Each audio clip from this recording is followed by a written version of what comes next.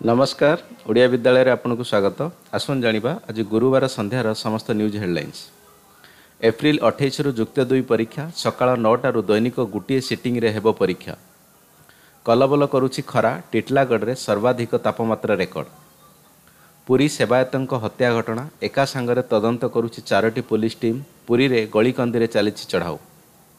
ରାଜ୍ୟରେ ସାମାନ୍ୟ ବଢ଼ିଲା କରୋନା ସଂକ୍ରମଣ ଚବିଶ ଘଣ୍ଟାରେ ବାହାରିଲା ଶହେ ପାଞ୍ଚ ପଜିଟିଭ୍ ଏକୋଇଶରେ ସୃଷ୍ଟି ହେବ ବାତ୍ୟା ଅସାନି ଆଣ୍ଡାମାନ ଛୁଇଁ ବାଂଲାଦେଶ ଆଡ଼କୁ ଯିବ।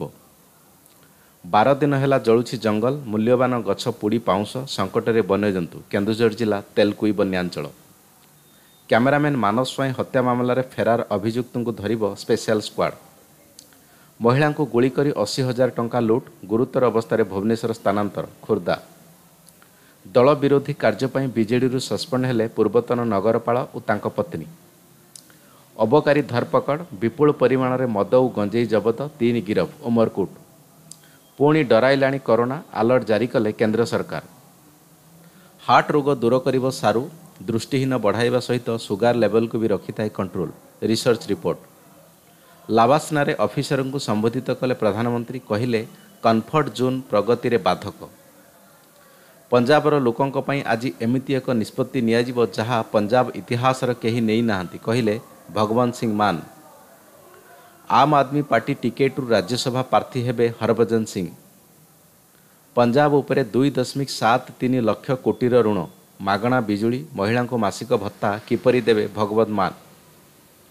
ପଞ୍ଜାବ ସରକାରଙ୍କ ଘୋଷଣା ହ୍ୱାଟ୍ସଆପ୍ ଜରିଆରେ କରିହେବ ଦୁର୍ନୀତି ଅଭିଯୋଗ।